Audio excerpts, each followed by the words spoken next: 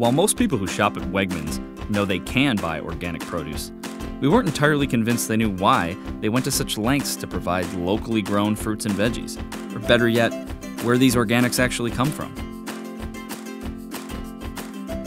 As shoppers, we've become so inundated these days with organic messages that it can start to lose its meaning. That's why we had to really distinguish Wegmans by better defining their brand mission and actually demonstrate how these products made their way to the stores. And in doing so, hopefully give more meaning to that organic label.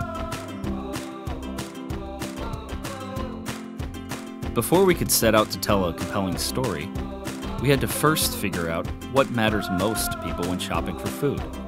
Our research concluded that consumers are increasingly more aware of the personal, social, environmental, and health consequences associated with the food they eat, which has led them to focus their buying behavior around four key considerations. What's in it, how's it made, who made it, and the story behind it. So that's exactly what we sought to answer. Well beyond just a supporter of local farms, for the past several years, Wegmans has itself become an industry leader, pioneering new organic methods for harvesting produce on their owned and operated farm in upstate New York.